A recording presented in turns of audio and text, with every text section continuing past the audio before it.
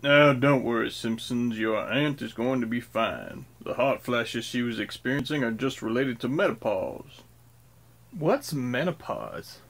Son, this is a very important moment when a father gets to teach his son about women. Menopause is when the stork that brings babies gets shot by drunken hunters. Mm-hmm. Couldn't have said it better myself.